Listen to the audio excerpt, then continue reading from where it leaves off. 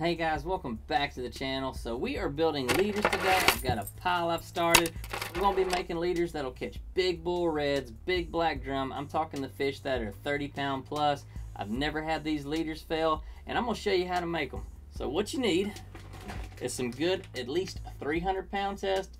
I mean, this is the Billfisher brand, good stuff. I've used a variety of just different types of monos over the year. Before I knew about the big mono, I used Weed Eater string, worked just as good.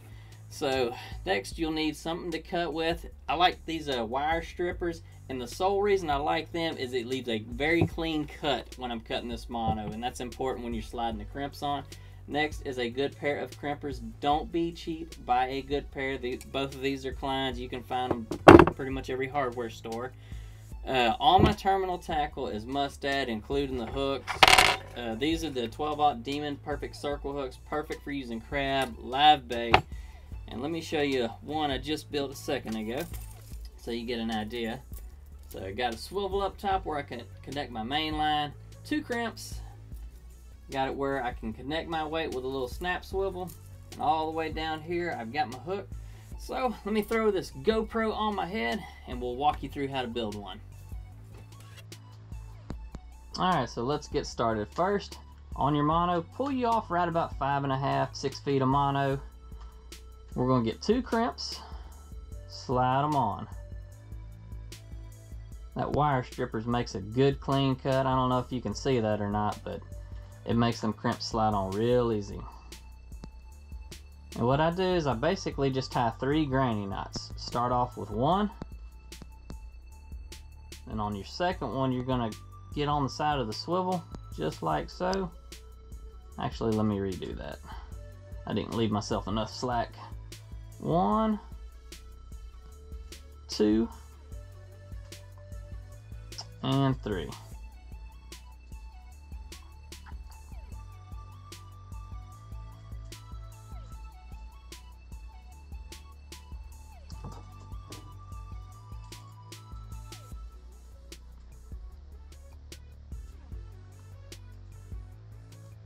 Get a good pair of tools, you can do this with one hand.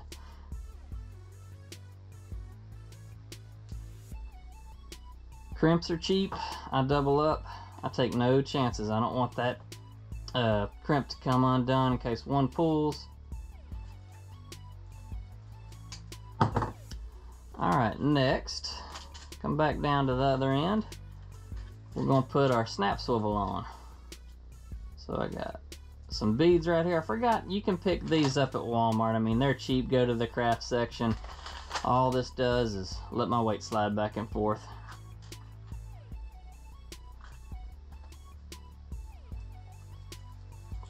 And take one more crimp. We're going to slide this on here.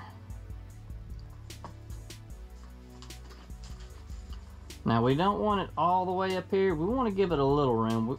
I like giving just about right there is perfect. Smash this baby down.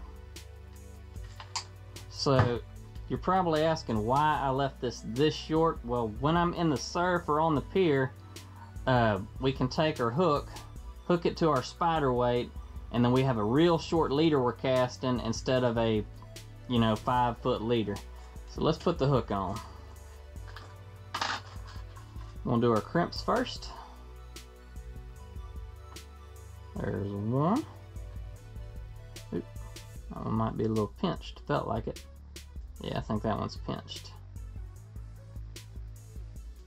Okay, it's good. Gonna do the same thing. Start with your granny knot. Let me get a little more slack.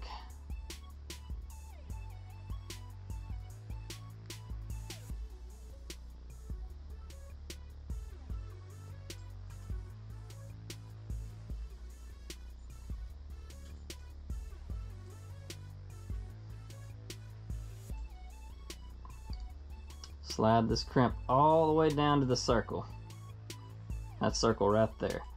That hook will move freely on this loop.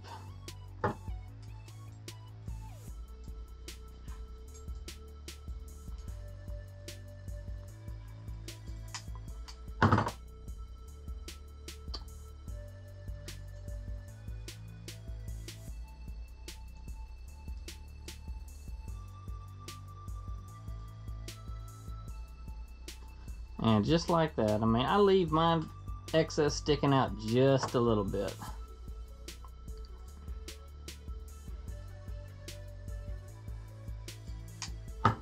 And that is that.